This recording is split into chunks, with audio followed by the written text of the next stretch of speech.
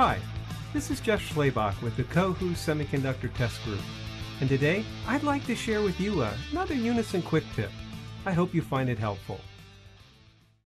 When testing microcontrollers, flash memory, or devices with built-in self-test, there are often tests that require waiting on the device to signal or flag that it has completed a certain programmed operation, indicating that we can proceed to the next test.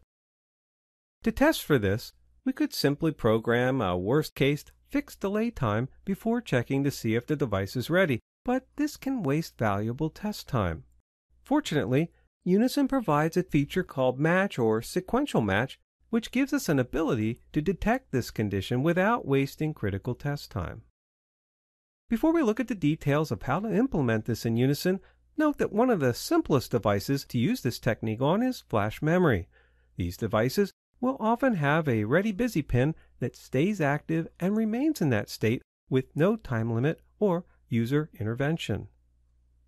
In Unison, the most basic sequential match is defined in what's called a match pattern, an example of that is shown here. It is designed to compare a pin or set of pins against some predetermined state or sequence of states until a match occurs. When a match takes place, we can detect the event and continue with the pattern execution. A match pattern uses a local fail flag turned on using the fail under SEQF pattern microinstruction and a conditional loop that tests the state of this local flag. So let's walk through a simple match pattern example and see how all this works. Starting with vector 1, we see two Unison microinstructions. The first, TC under off, disables test cycle count logging. After the match is complete, the test counter is enabled using the TC under on instruction located on vector 10.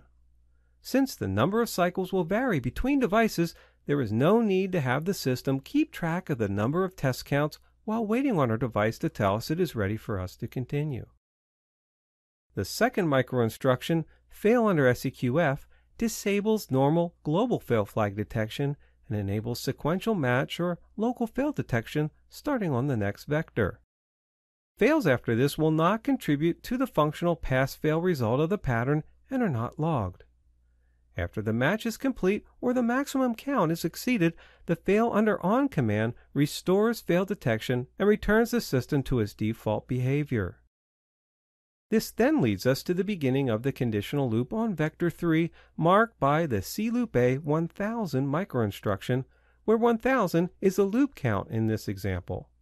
A corresponding CN loop A instruction with a conditional, in this case SEQF, is used to mark the end of the conditional loop. The count specified by the C loop instruction determines the maximum number of times the loop is executed if the test condition is not met. The minimum loop count is 2. Fewer loops are executed if the condition named by the CN loop instruction goes false before 1000 loops in this case have executed. Note that the SEQF conditional is the wired OR of all pin comparators on all sites and will not go false until all comparing pins on all active sites pass. Remember, all sites are running the same pattern and all sites must match to exit the loop. This means that the longest delay will determine the test time for this test. Before performing a test or compare of our ready busy pin on vector 5, we will want to reset the local fail flag SEQF.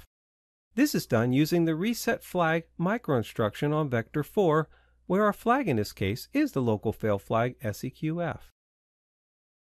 Due to the high-speed operation of the digital subsystem, there is a pipeline delay that must be taken into account. This is the time from the actual occurrence of the failure until it gets to the compare logic and updates the SEQF flag. The number of vector cycles this takes can vary based on the speed of the pattern and which digital instrument is in use. To guarantee this pipeline is correctly handled, use the repeat match pipeline microinstruction as seen on vector 6. This command takes all of these conditions into account and chooses a value that provides the correct amount of delay. And note that when more than one digital instrument type is involved, the system software will pick the largest repeat value required. Finally, if your device doesn't need regular clocking during the pipeline delay, it may be possible to define a minimum length period time set to use for the vectors with the repeat match pipeline to minimize the delay. In our example, this is what timeset tset2 provides.